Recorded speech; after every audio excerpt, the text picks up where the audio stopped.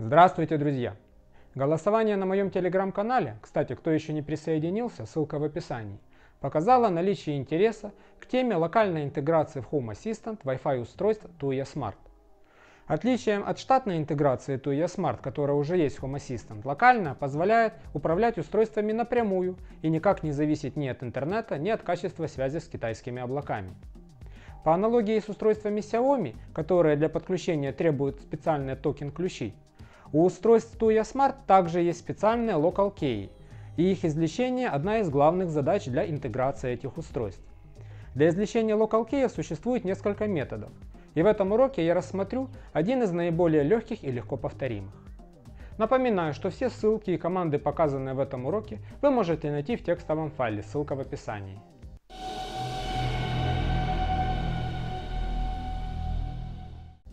Первую очередь нам нужно зарегистрироваться на платформе для разработчиков iot.tuya.com.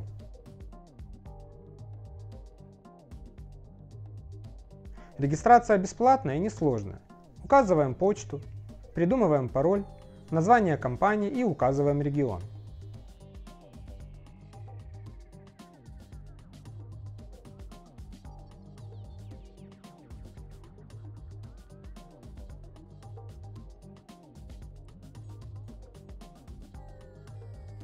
Регистрацию подтверждаем кодом, полученным на указанный email. Теперь можно войти в аккаунт.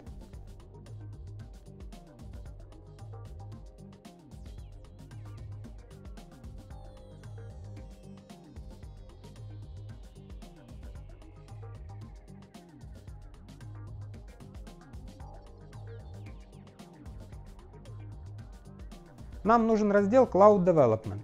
Тут нажимаем «Попробовать бесплатно» и создаем новый проект.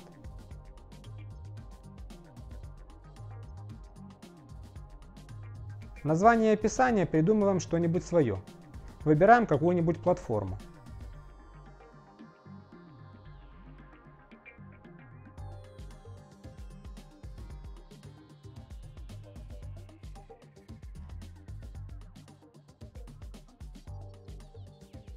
Проект имеет два ключа, клиентский и секретный, дальше они нам пригодятся.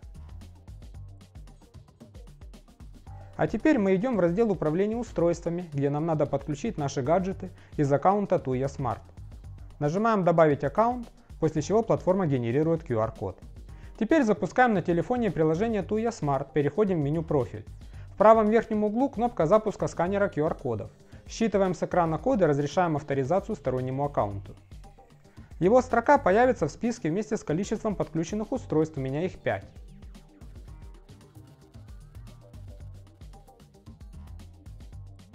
Посмотреть их можно в списке устройств, только нужно выбрать свой регион, у меня Европа.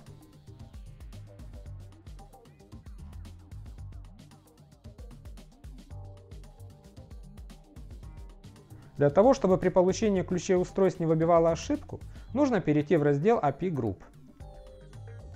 Тут нужно включить три опции – Authorization Management, Device Management и Device Control. Причину пишем от фонаря, но более-менее вменяемую. Статус должен измениться на открыто.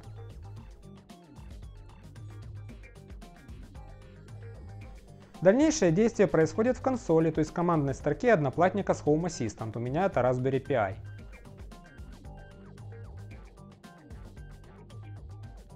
Для начала, и пусть это будет хорошей привычкой перед установкой каких-либо приложений, обновимся. Список пакетов,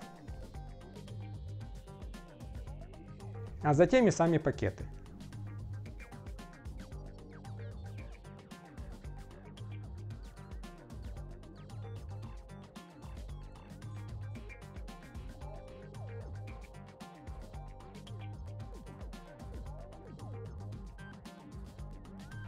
Необходимо установить пакет NPM. Это менеджер пакетов, который нам нужен для установки приложения для получения Local Key. Он тянет за собой внушительный список зависимостей, но места занимает немного.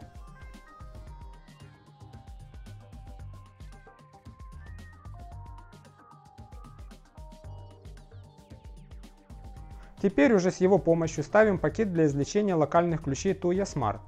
У меня он немножко поругался на версию Node.js, но в данном случае это роли не играет.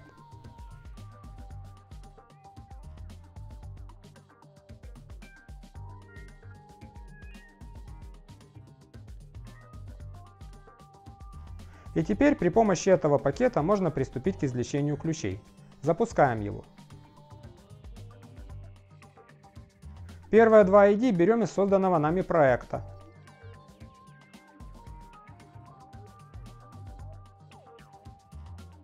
Сначала ID доступа,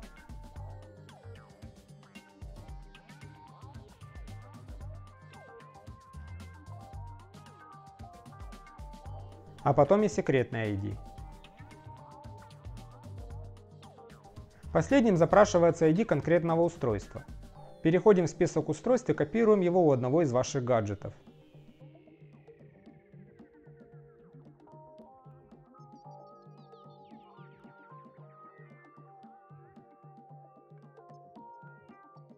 Результатом будет список всех ваших TUIA устройств с ID и локальными ключами.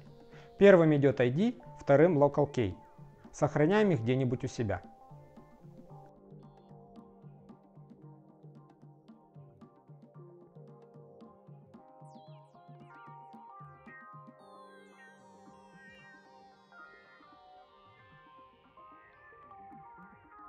Ключи у нас есть, теперь время установить специальную интеграцию, которая называется Local TUIA.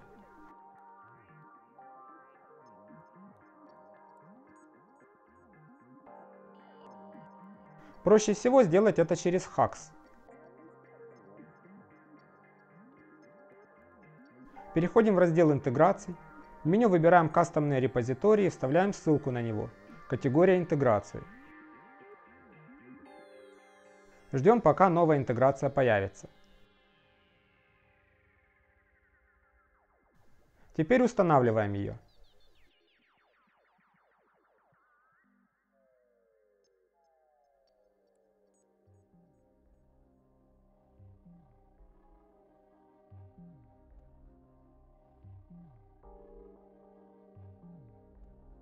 После установки нужно проверить конфигурацию и перезагрузить инстанс, чтобы приступить к добавлению новых устройств.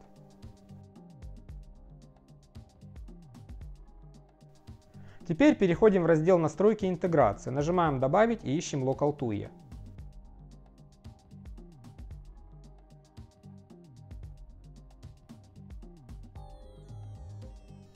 Интеграция ищет доступные устройства в локальной сети, находит их всех с IP-адресами и ID.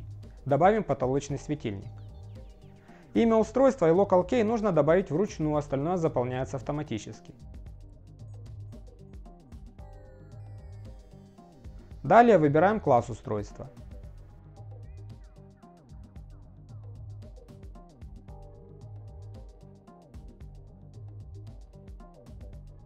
Следующее окно – это заполнение свойств устройства. Тут есть выпадающее меню с тем, что интеграция подтянула. Здесь можно проэкспериментировать, все поля можно в любой момент поменять.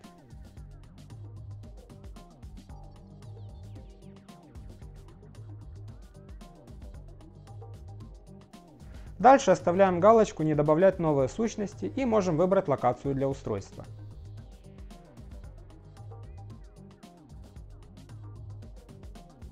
У нас появилось новое устройство домена Light. Оно управляет потолочным Wi-Fi светильником Tuya Smart, интернет для этого не нужен.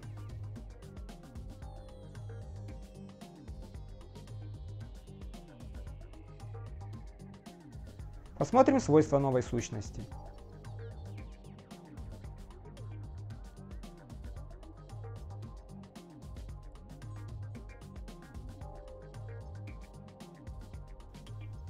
Для проверки корректности работы добавим ее в карточку Lovelace.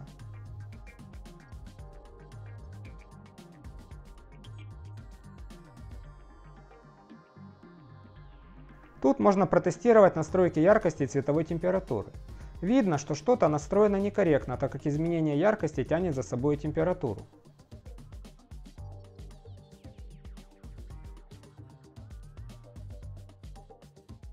Возвращаемся в интеграцию и запускаемся в настройки. Параметры устройства корректные, идем дальше. Видим, что параметры для яркости и цветовой температуры одинаковы. Меняем параметры для температуры и сохраняем.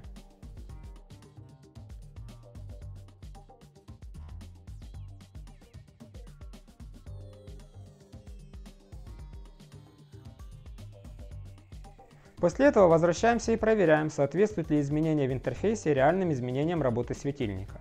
Сейчас все нормально.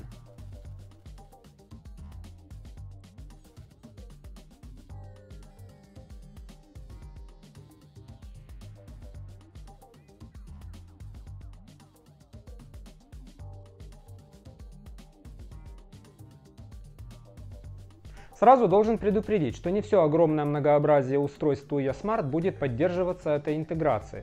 Однако все самые распространенные типы, такие как светильники, розетки, вроде как и моторы для штор, они будут поддерживаться.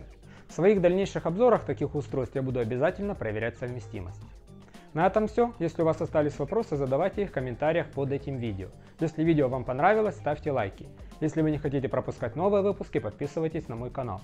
Также напоминаю, что все интересные новости, обновления, а также голосовалки, кроме этого купоны и акции на товары умного дома вы можете найти в моем телеграм-канале, ссылка в описании. До свидания, до новых встреч!